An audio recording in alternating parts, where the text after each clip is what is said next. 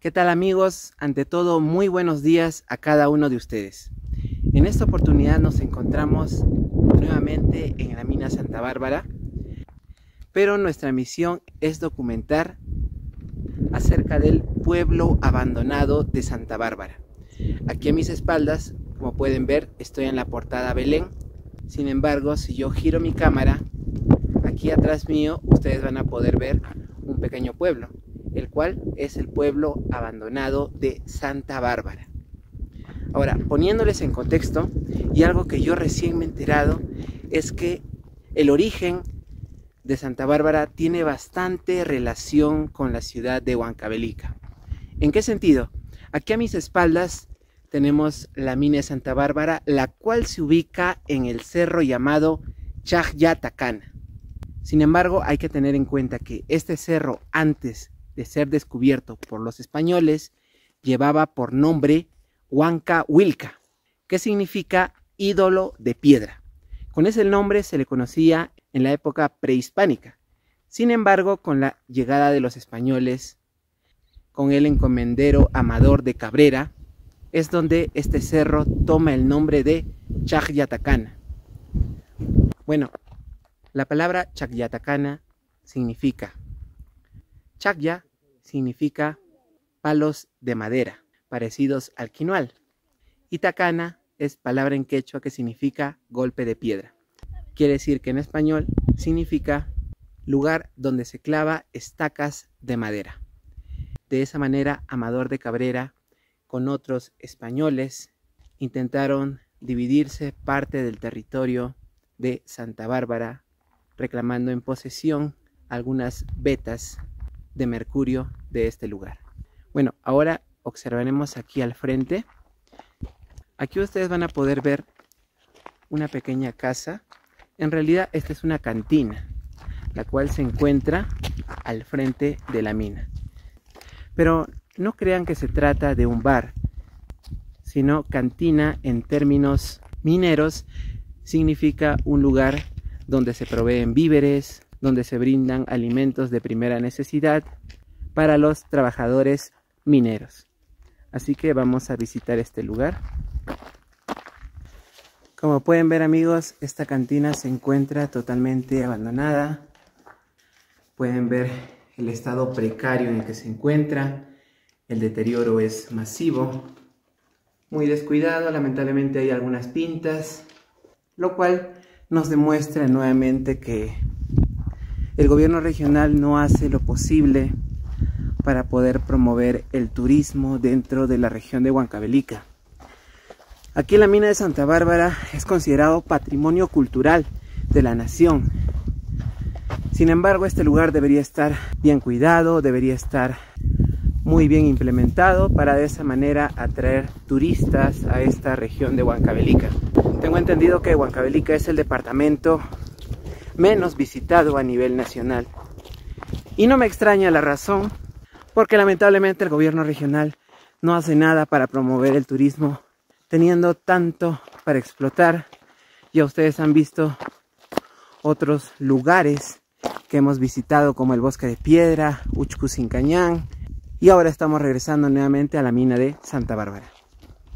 Aquí vemos un pequeño gráfico para poder ubicarnos y aquí veremos algunos datos históricos respecto a la mina de Santa Bárbara. Como saben fue conocida como Mina de la Muerte.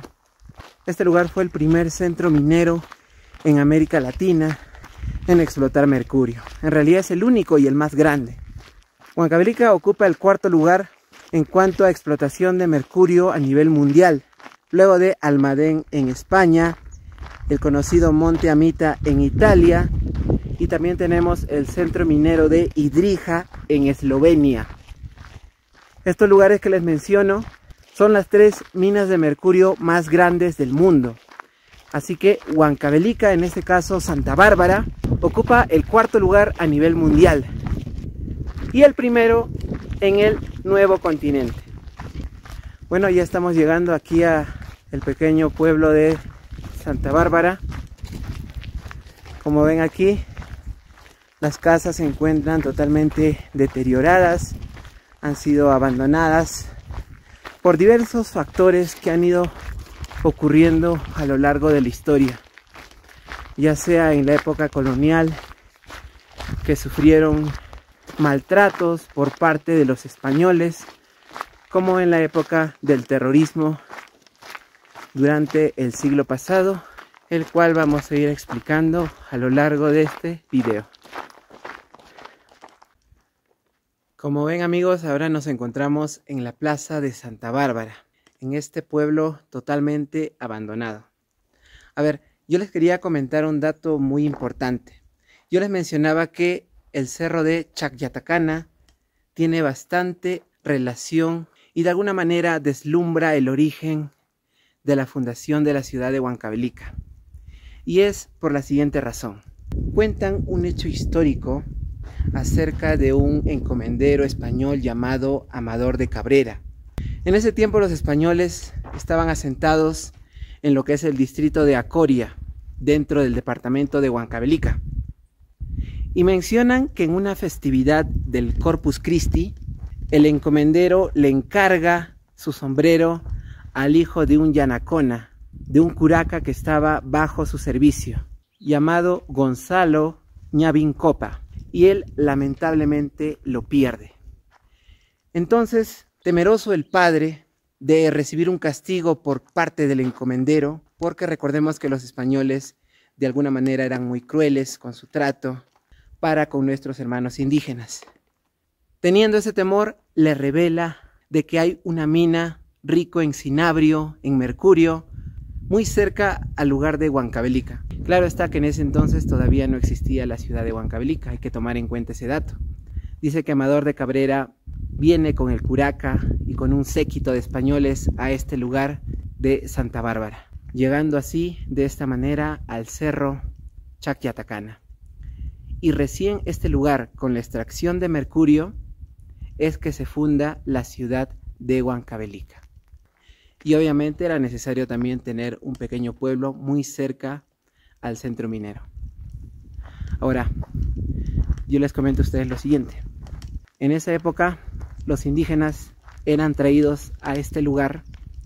Yo me imagino acá en esta iglesia, esta iglesia colonial, era necesario que los sacerdotes, los curas, le den los santos óleos a nuestros hermanos indígenas porque ellos sabían, eran conscientes que una vez que ingresaban a trabajar a las minas, prácticamente estaban condenados a morir. Y lamentablemente, si algunos indígenas sobrevivían, posiblemente terminaran con enfermedades pulmonares o en algunos casos discapacitados por el derrumbe de los socavones dentro de la mina de Santa Bárbara. Así que amigos, les he podido poner en contexto un poco acerca de la mina y la relación que tiene con este pequeño pueblo de Santa Bárbara. Ahora vamos a ubicarnos en esta pequeña casona que tengo aquí a mis espaldas. Vamos a ingresar por este lugar. Uy, vemos acá este ambiente bastante delgado. No sabemos de qué se trate, pero a su costado también hay otro ambiente muy delgado. Vemos que se encuentra bastante descuidado. Incluso el techo, algunas maderas deben de estar apolilladas. Bueno, seguiremos aquí visitando. Encontramos un pequeño patio. Vemos que la vegetación, en este caso el lichu, ha ido ganando bastante terreno en este lugar. El segundo piso, materiales de barro, adobe es lamentable cómo ha quedado este lugar bastante desierto. Y ahora, sabemos por historia que este lugar ha sido habitado en la época colonial. Luego de la época colonial, este lugar siguió funcionando. Es decir, los comuneros de Santa Bárbara seguían viviendo. Me da bastante curiosidad que encontramos dos pizarras, una enfrente de otra. Lo que nos da a entender que Posiblemente este lugar ha sido un colegio. Ahora, ¿por qué hay una pizarra enfrente de otra? Sabemos que Santa Bárbara ha sido una comunidad muy pequeña, por lo tanto han tenido que adecuar su clase de esa manera.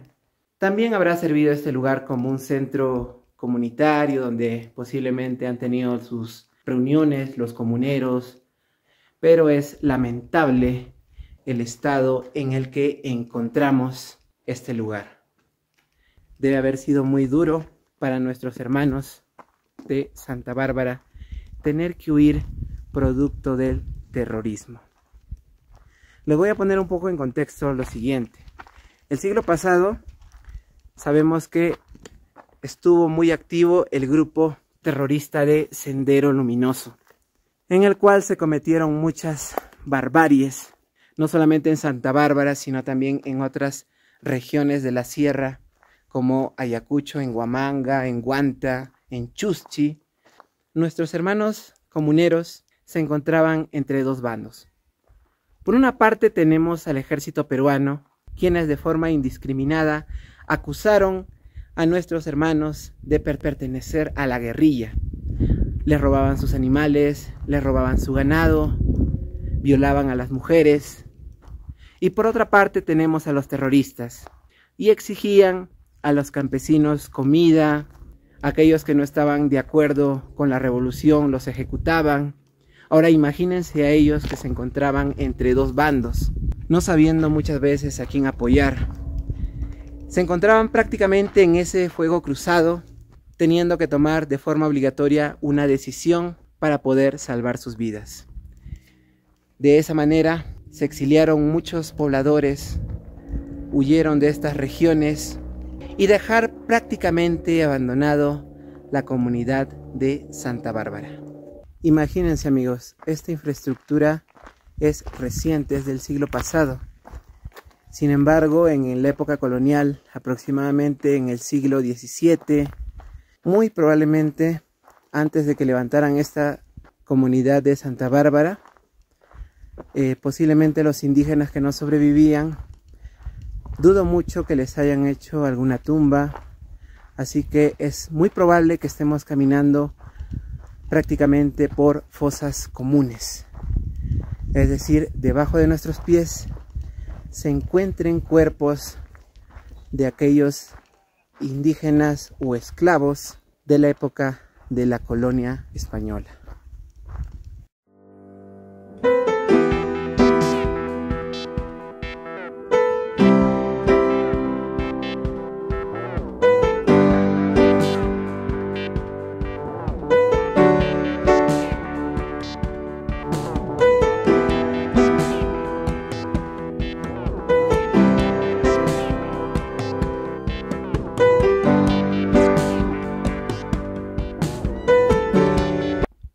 Vamos a comentar acerca de la iglesia de Santa Bárbara.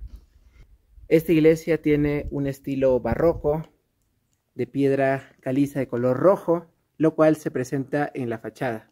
Ahora, es cierto que esta iglesia ha tenido ornamentos de oro tallados en madera, sin embargo, durante la época del terrorismo hubo algunos saqueos, así que eso nos demuestra que esta iglesia ha sido testigo ya que data de la época colonial, de las atrocidades cometidas tanto en nuestros hermanos indígenas como también aquellas atrocidades cometidas a los comuneros durante el siglo pasado en la época del terrorismo. Miren amigos, nos encontramos aquí enfrente de la iglesia y veremos una vista panorámica. Ahí al frente tendremos los ambientes de la minería El Brocal la cual estuvo explotando la mina de Santa Bárbara hasta el siglo pasado. Observarán que detrás mío se encuentra un pequeño portal, el cual justo da a la puerta del templo de Santa Bárbara. Hay una persona que cuida la mina de Santa Bárbara, que cuida aquí el centro poblado de Santa Bárbara, el cual está abandonado, el cual es el señor Taipe, quien con su esposa se dedican a la crianza de ganado, ya sea de alpacas, de ovejas, y nos ha contado un poco la historia aquí de este portal.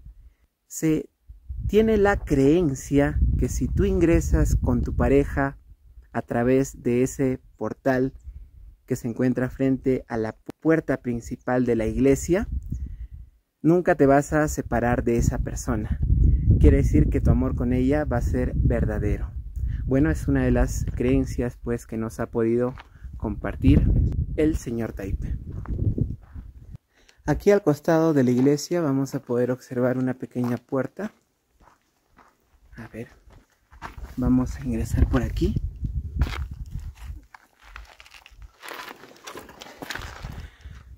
Y bueno, resulta bastante curioso encontrarnos con un pequeño cementerio justo a las espaldas de la iglesia de Santa Bárbara. Algo que diferencia estos ataúdes es que es de concreto, no es de madera. Yo imagino que esto no puede ser de la época colonial, de hecho ha tenido que haber sido del siglo pasado. Si ustedes observan, hay algunas tumbas que han sido profanadas. Probablemente amigos, los profesionales del área de la salud, tenía entendido que tienen ciertas actividades dudosas como el saqueo de tumbas para poder realizar sus prácticas, sus evaluaciones en cuanto a la medicina. Claro está que no todos, pero es muy probable que hayan venido a este lugar a fin de poder recopilar algunos cadáveres para realizar sus estudios. Y hasta esta parte pues termina este pequeño cementerio. Algunos conservan muy bien sus nombres. Actualmente pueden ustedes ver que las flores son frescas. Entonces los siguen visitando, los familiares siguen visitando de forma de repente muy frecuente. También encontramos algunas latas de cerveza. Quiere decir que han venido por este lugar a visitar a sus seres queridos. Un cuadro un tanto perturbador. No pensaba encontrar un cementerio a la espalda de una iglesia. Bueno amigos, de esta manera concluimos nuestra visita al pueblo abandonado de Santa Bárbara. Esperando que las autoridades puedan recapacitar, puedan tomar cartas en el asunto y poder realizar una promoción de este patrimonio histórico de nuestra nación. Muchas gracias amigos por acompañarme en esta interesante aventura y ya nos estaremos viendo muy pronto en un próximo video.